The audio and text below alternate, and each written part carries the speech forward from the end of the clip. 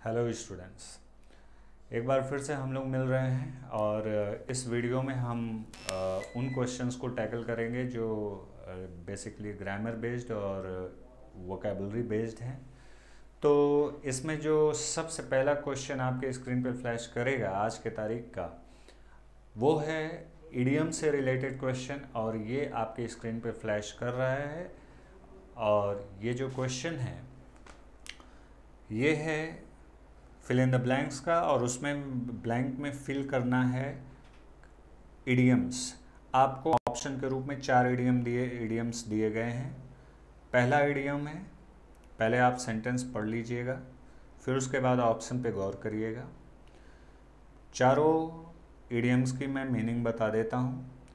Turn a blind eye turn a blind eye का मतलब होता है टू इग्नोर समबडी और समथिंग किसी चीज़ को या किसी व्यक्ति को अनदेखा कर देना, उसको ध्यान न देना। तो टर्न अ ब्लाइंड आई का मतलब होता है किसी व्यक्ति को अनदेखा कर देना या उसकी ओर ध्यान न देना इग्नोर कर देना। Add fuel to the fire इसका मतलब होता है आग में घी डालना, यानी किसी भी व्यक्ति के गुस्से को और भड़का देना। कोई भी मामला है सिचुएशन है, उसे और एग्रवेट कर देना।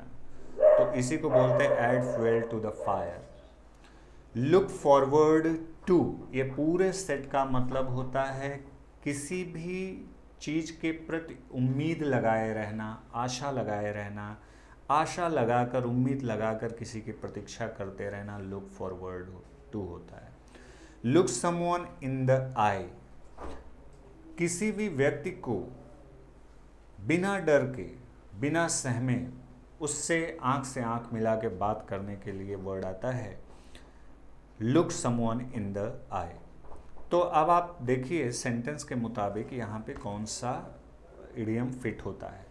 लिखा है colleges can not to ragging because of the anti ragging act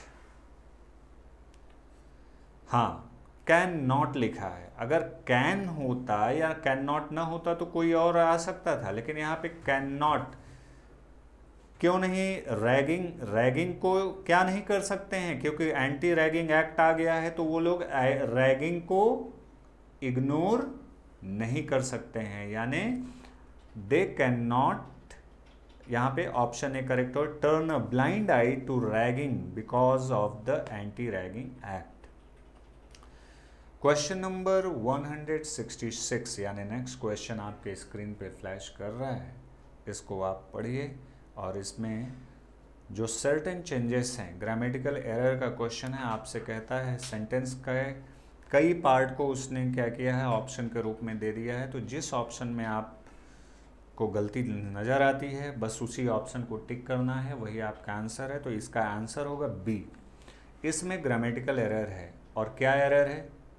ये एरर है कि हंड्रेड थाउज़ेंड मिलियन बिलियन के पहले अगर कोई न्यूमेरिकल एडजेक्टिव आया है तो ये कभी भी प्लूरल में नहीं होंगे। अब यहाँ पे हंड्रेड्स लिखा हुआ है, यही गलती है। टेन हंड्रेड फाइव हंड्रेड बोल सकते हैं आप, लेकिन फाइव हंड्रेड्स नहीं बोल सकते। आप टेन थाउज़ेंड बोल सकते हैं टेन थाउजेंड्स नहीं बोल सकते हैं। तो उसी तरीके से यहाँ पे हंड्रेड्स रुपी नोट लिखा हुआ है, जो कि गलत है। हंड्रेड्स की जगह हंड्रेड होना चाहिए। तो गलती कहाँ है? ऑप्शन नंबर बी में। आते हैं नेक्स्ट क्वेश्चन पे। कह रहा है कि identify the word that is misspelled ये चार ऑप्शन दिए हुए हैं और चारों ऑप्शन में आपसे कह रहा है कि कौन सा वर्ड मिसपेल्ड है? यानी किसकी स्पेलिंग गलत लिखी हुई है। अब जिस वर्ड की स्पेलिंग गलत लिखी हुई है, वहाँ पे वो आपका आंसर है। तो ऑप्शन नंबर ए मिसलेनियस देखिए, ये सारे वर्ड्स की स्पेलिंग आप लोग तैयार कर लिए। भले आपका ऑप्शन एक ही इसमें सही होगा, लेकिन बाकी जो चारों के हैं, ये कहीं ना कहीं घूम फिर के ये किसी न किसी ऑप्शन में, ये क्वेश्चन में ये आ जाएँगे। मिसलेनियस बिल्कुल सही स्पेलिंग में लिखा हुआ है, जिसका मतलब होता है विविध। अम्बिलिकल ये भी सही लिखा हुआ है जिसका मतलब होता है आ, अगर आप बायोलॉजी के स्टूडेंट रहे होंगे तो आपने बायोलॉजी में पढ़ा होगा अम्बेल अम्बेलिकल कॉर्ड एक ऐसा टिश्यू नुमा नली नुमा चीज़ होता है जो बच्चे के नाभि से और माँ से जुड़ा हुआ रहता है। उसी से बच्चे के लिए जो पोषक तत्व होते हैं बट माँ के पेट में बच्चे को सप्लाई होता है। तो उसी को अम्बलिकल कॉर्ड बोलते हैं। प्रोफेसी भी ग्रामेटिकली सही लिखा हुआ है। लास्ट वाला जो एकोमोडेशन है, ये गलत लिखा हुआ है। इसकी जो सही स्पेलिंग होगी, वो होगी इस तरह से।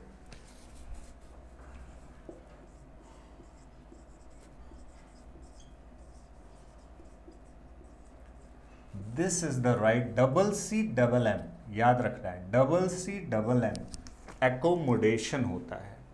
एकोमोडेशन मतलब होता है रहने का स्थान एकोमोडेशन तो करेक्ट ऑप्शन है ये। आप कभी भी ये स्पेलिंग आपसे भूलनी नहीं चाहिए। याद रखना है एकोमोडेशन में डबल सी डबल एम ठीक? आते हैं क्वेश्चन नंबर 168 पे। यहाँ पे हाँ यहाँ पे आपसे फिर से एक बार कई मुहावरे ऑप्शन में दिए हुए हैं और जहाँ खाली स्थान वाला पार्ट है, उसमें आपको ये फिट करना है, मुहावरे कौन से आएँगे। तो पहला है ऑप्शन ए उसका मतलब क्या है? सारे मुहावरों का मतलब बता दे रहा हूँ। सी आई टू आई अब शाब्दिक अर्थ पे मत जाइए। आँख में आँख डाल के बात करने का मतलब नहीं है। यहाँ पे है सी आई टू आई का मतलब होता है एग्री विथ समबडी किसी भी व्यक्ति से जब आप सहमत होते हैं उसके विचारों से, तब आप आई टू आई देखते हैं। दूसरा ऑप्शन है put their best foot forward to इसका मतलब होता है सर्वश्रेष्ठ प्रदर्शन करना, अपने काम को बहुत ही शानदार तरीके से करना। To do your best option C है पुट दियर फूट डाउन इसका मतलब होता है किसी व्यक्ति का घोर विरोध करना अपोज करना। उसका विरोध करना। Move up in the world move up in the world दुनिया में ऊपर जाने का मतलब है चले जाना नहीं, ऊपर जाने मतलब प्रगति करना, तरक्की करना। चार ऑप्शन दे दिए। आप सेंटेंस के हिसाब से देखते हैं कौन सा आएगा। During the staff meeting there was a lot of ruckus ruckus का मतलब होता है हो गल, हो हंगामा शोर गोल चीख, लोग उथल पुथल शोर शराबा नहीं करने लगते हैं उसी को रकस बोलते हैं। तो कह रहा है कि ड्यूरिंग द मीटिंग मीटिंग के दौरान बहुत शोर शराबा होने लगा सिंस क्योंकि मैनी बहुत सारे लोग डिडेंट विद द अथॉरिटीज हाँ तो यहाँ पे क्या आएगा? Option number A didn't see eye to eye मतलब अथॉरिटीज़ के साथ वो लोग सहमत नहीं थे, इसीलिए क्या होने लगा? हो हंगामा, शोर शराबा हल्ला गुल्ला तो यहाँ पे करेक्ट ऑप्शन होगा option number A question number 169 है और बोल्ड पार्ट में लिखा हुआ है प्रेडिसेशर का अपोजिट प्रेडिसेसर का अपोजिट होगा option number D successor predecessor का मतलब होता है पहले आने वाले, यानी हमारे पूर्वज. सक्सेसर का मतलब होता है बाद वाला. जैसे अगर आप हैं तो आपका प्रेडिसेसर कौन है? आपके फादर हैं, आपके दादाजी हैं। सक्सेसर कौन होगा? आपके बच्चे होंगे। उनके बच्चे होंगे। वो आपके सक्सेसर कहलाएँगे। तो यहाँ पे प्रेडिसेसर का अपोजिट है D option successor question number 170 parajumble का क्वेश्चन है। और इसमें पहली सरसरी निगाह से आप सारे सेंटेंस को पढ़ जाइए। और मैं बार बार आपसे बोलता हूँ कि इसके लिए ज़रूरी होता है कि कुछ वर्ड्स को पकड़ना। जैसे सेंटेंस नंबर ए पढ़ेंगे तो उसमें लिखा है फर्दर मोर फर्दर मोर मतलब और भी आगे, यानी इसके पहले कुछ बात कह दी गई है, यानी सेंटेंस नंबर ए नहीं हो सकता है।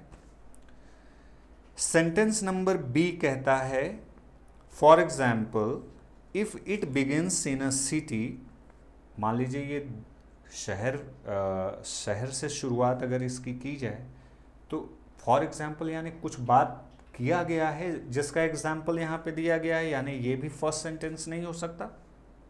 ठीक है? अब देखते हैं। कह रहे first of all make it make it as specific as possible कह रहा है कि इसको जितना ही ज़्यादा स्पेसिफिक विशेष बना सकते हैं आप बना सकते हैं किसे बना सकते हैं? क्वेश्चन करिए, किसे बना सकते हैं? सेंटेंस नंबर डी पढ़ेंगे। वाइल राइटिंग ए स्टोरी देखिए आ गया। किसे बना सकते हैं स्पेसिफिक स्टोरी को। वाइल राइटिंग ए स्टोरी और a novel the setting is very important कह रहा है कि कोई भी कहानी लिखते समय सेटिंग इंपॉर्टेंट होता है। यानी सारी बातें किसके लिए की गई है? स्टोरी के लिए। यानी करेक्ट ऑप्शन कौन होगा? जिसमें डी आया हो। डी बिगनिंग में आया हो। तो ऑप्शन सी सही हो सकता है या तो बी लेकिन डी के बाद जस्ट ऑप्शन सी किसके सपोर्ट में आना चाहिए? राइटिंग स्टोरी के सपोर्ट में। तो डी के जस्ट बाद सी आया है ऑप्शन नंबर ए में तो करेक्ट ऑप्शन क्या होगा? Option number A option number A आते हैं नेक्स्ट क्वेश्चन में। देखिए भाई, आपके एग्ज़ाम में इडियम्स एंड फ्रेजेस बहुत आ रहे हैं। तीन क्वेश्चन देखिए। आ गया दस क्वेश्चन करा रहा हूँ। दस क्वेश्चन में से तीन क्वेश्चन तो सीधे सीधे इडियम्स एंड फ्रेजेस के ही बन गए। तो यहाँ पे फिर से एक बार क्वेश्चन है और चार ऑप्शन आपके सामने दिया हुआ है और चारों में मुहावरे दिए हुए हैं। चारों मुहावरों का मैं अर्थ बता रहा हूँ। जो पहला मुहावरा है question number 171 should be flashed yes तो पहला है nipped it in the bird nip in the bird एक ऐसा मुहावरा है जिसका मतलब होता है कि शुरुआत में ही खत्म कर देना। शुरुआत में ही किसी चीज़ को ख़त्म कर देना। जैसे मान लीजिए कोई बीमारी आपको शुरू हुई, अब आप उसे पाले हैं तो वो बड़ा रूप ले सकती है, इसलिए शुरुआत में ही उससे क्या कर दो? ख़त्म। कोई भी आदत बुरी आपको लग रही है, शुरुआत ही है, ख़त्म कर डालिए। Nip in the bird cut corners cut corners का मतलब होता है बचत करना, सेविंग करना। लेकिन कैसे? कटौती कर करके। अगर आप दिन भर में आपके पॉकेट का जो खर्च है वो पचास रुपये है तो पचास रुपये में से आपने उसे कर दिया तीस रुपये आप घूमने पे खर्च करते थे दो हज़ार रुपये तो आपने कम खर्च कर दिया उसको एक हज़ार पे। तो कटौती कर कर के जो बचत आप करते हो, उसे बोलते हैं cut corners. Killed two birds with a stone ये हम लोग खूब बोलते हैं हिंदी में। एक तीर, दो निशाने। यानी एक ही काम से हम दो लक्ष्य को हासिल कर पाते हैं, उसी को बोलते हैं एक तीर, दो निशाने। Made a song and a dance make made a song and a dance इसका मतलब होता है बोस्टफुलनेस मतलब किसी भी बात को बढ़ा चढ़ा के, जैसे कहते हैं डींगे मारना। बढ़ा चढ़ा के कहना। आप कहीं गए, घूमे, टहले, आप बहुत सिंपल वे में आपने चीज़ों को किया, लेकिन आप आए तो कहे उसको बड़ा हाइपरबोलिक अंदाज में आपने बताया तो ये है। अब सेंटेंस पढ़ते हैं तो पता लगेगा कि इसमें क्या आना चाहिए। चारों मुहावरों के अर्थ मैंने आपको बताया।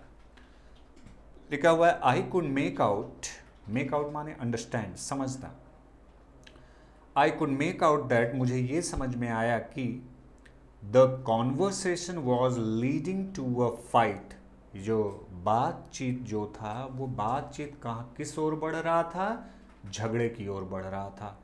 सो so, इसलिए आए। अब आपको जब लगा कि यार ये बातचीत तो झगड़े का रुख अख्तियार कर रहा है तो झगड़े का रूप झगड़ा का रूप न लेने पाए उससे पहले ही क्या करना है? शुरू में ही खत्म कर देना है। तो इसके लिए कौन सा मुहावरा मैंने बताया था? Yes option A nipped it in the bird bud माने कली होता है। निप माने कुतरना होता है। जब आप कली पर ही उसको तोड़ दोगे, यानी शुरुआत में ही तोड़ दोगे तो झगड़े की गुंजाइश खत्म हो जाएगी। आते हैं क्वेश्चन नेक्स्ट में। क्वेश्चन नंबर नेक्स्ट आपके स्क्रीन पर फ्लैश कर रहा है। एक बार फिर से पैराजम्बल का क्वेश्चन है। सरसरी निगाह से सारे सेंटेंस को पढ़ लीजिए। और देखिए किस अप्रोच से मैं सॉल्व करता हूँ प्लीज़ आप उसे पेयर बना लीजिए, ज़्यादा नहीं, दो दो सेंटेंस का पेयर बनाइए। अगर पेयर पहले तो एक पेयर में आंसर आ जाएगा, लेकिन अगर एक पेयर कई ऑप्शन में आ गए, तब आपको दूसरा पेयर बनाने की ज़रूरत पड़ेगी अदरवाइज़ नहीं। तो देखते हैं। पहला सेंटेंस शुरुआत हुआ है देयर फोर देयर फोर जब भी आता है, ये कंक्लूडिंग लाइन होता है। कंक्लूडिंग मतलब लास्ट वाली लाइन निष्कर्ष निकालने के लिए देयर फोर का यूज़ हम करते हैं। यानी यही लाइन लास्ट लाइन होगी तो जिस ऑप्शन में ऑप्शन ए लास्ट में आया होगा, वही आंसर आपका करेक्ट होगा, वही सीक्वेंस बनाएगा। और ऐसा केवल सी में है और किसी में नहीं है तो बी डी सी ए का आपका करेक्ट ऑर्डर बनेगा। देखिए, मैं कैसे ट्रिक से पकड़ रहा हूँ, आपको भी ऐसे ही करना है। टाइम वेस्ट नहीं करना है। कुछ चीज़ें जानना जैसे देयर फोर कब बोलते हैं आप? जब आप किसी बात का निष्कर्ष देना होता है आपको। तो निष्कर्ष देने के लिए आपको क्या होता है? देयर फोर से स्टार्ट करते हैं। यानी ये कंक्लूडिंग लाइन है लास्ट लाइन आएगी सारी बातों की। तो यहाँ पे लास्ट ए वाला ऑप्शन है ऑप्शन सी में तो करेक्ट ऑप्शन हो जाएगा ऑप्शन नंबर सी अगला जो क्वेश्चन आपके स्क्रीन पे फ्लैश कर रहा है क्वेश्चन नंबर 173 वो ग्रामेटिकल एरर से रिलेटेड बात पूछ रहा है कि कह रहा है किसी पार्ट में ग्रामेटिकल एरर है क्या? तो जी हाँ पार्ट में एरर है। अब देखिए, मैं बोलता हूँ, ध्यान दीजिएगा। I had to go to the doctor मुझे डॉक्टर के पास जाना पड़ा बिकॉज़ क्योंकि I was not bear the bear the pain माने दर्द बर्दाश्त न करना। I was not bear the pain in my tooth मैं अपने दांत में दर्द बर्दाश्त नहीं कर नहीं कर कर क्या हो सकता है? कर सका या कर पाया? यहाँ पे आपकी कैपेबिलिटी और क्षमता को बता रहा है दोस्त। यहाँ पे वॉज़ तो होगा नहीं। क्या आना चाहिए? यहाँ पे यहीं पे आना I was not bear the pain की बजाय आना चाहिए। I could not bear the pain बात पास्ट में हो रही है, इसलिए कैन नहीं लगा रहा हूँ मैं। प्रेजेंट में होता तो कैन लगाता पास्ट में हो रही है तो कुड लगाऊँगा। I could not bear the pain in to दांत में मैं ये दर्द बर्दाश्त नहीं कर सका या नहीं कर पाया। हमारी इनकेपेबिलिटी को शो कर रहा है तो कैन या कुड इस्तेमाल होगा। आज के वीडियो का लास्ट जो क्वेश्चन है, वो ये है आपसे पूछा गया है कि द फियर ऑफ़ वाटर ये ग्रुप ऑफ़ वर्ड्स है वन वर्ड सब्सटीट्यूशन का क्वेश्चन है, और आपके स्क्रीन पे फ्लैश कर रहा है one the fear of water कह रहा है कि पानी से डर फियर मतलब डर, पानी का जो डर होता है, वो पानी का डर को एक वर्ड में क्या बोलेंगे? तो इसका सही ऑप्शन है हाइड्रोफोबिया अब हाइड्रो ऐसे याद करिए फोबिया जो होता है, फोबिया, इसका मतलब होता है फियर फियर माने होता है डर। अब ये किसी के साथ अगर सफिक्स की तरह आएगा तो उसका डर हो जाएगा। हाइड्रो का मतलब होता है पानी वाटर हाइड्रोफोबिया माने पानी का डर। अब जिसके साथ आप फोबिया डाल देंगे, उसी का डर हो जाएगा। बुक को बोलते हैं बिब्लियो बिब्लियोफोबिया माने किताबों का डर। एग्ज़ाम के साथ जोड़ दीजिए एग्ज़ाम फोबिया परीक्षा का डर। ठीक है ना? तो यहाँ पे कह रहा है फियर ऑफ़ वाटर यानी इसके लिए एक शब्द क्या होगा? हाइड्रोफोबिया लेकिन मैं आपको ये भी बता देता हूँ कि बाकी जो फोबिया लिखे हुए हैं, उनका क्या मतलब है? पहला है क्लैस्ट्रोफोबिया क्लैस्ट्रोफोबिया का मतलब होता है कि किसी भी स्थान में जब आपको कैद कर दिया जाता है, किसी सीमित जगह पे आपको रहना पड़ता है तो उसे बोलते हैं कैस्ट्रोफोबिया। तो कहीं सीमित स्थान पे, किसी कैद में रहने का जो एक भय होता है, उसे बोलते हैं क्लैस्ट्रोफोबिया जैसे आपको कह दिया जाए कि यहाँ से बाहर नहीं निकलना है तो आप क्या हैं? आप क्लैस्ट्रोफोबिया के शिकार अगर हैं तो आप घबरा जाएँगे। आपसे कहा दिया कि इस घर से बाहर नहीं निकलना है। है वो आपका घर, रोज आप निकल रहे हैं, लेकिन आपको आज कैद कर दिया गया, नज़रबंद कर दिया गया, आप व्याकुल हो जाएँगे, आप परेशान हो जाएँगे, आप क्लैशोफोबिया के शिकार हैं। ऑटोफोबिया का मतलब होता है फियर ऑफ़ बीइंग अलोन अकेलेपन का डर। आप सबके साथ हैं, कोई प्रॉब्लम नहीं है, जैसे ही आप अकेले हुए, अपने घर में ही हैं, लेकिन आपको हालत आपकी ख़राब होने लगी, अब क्या होगा मेरा?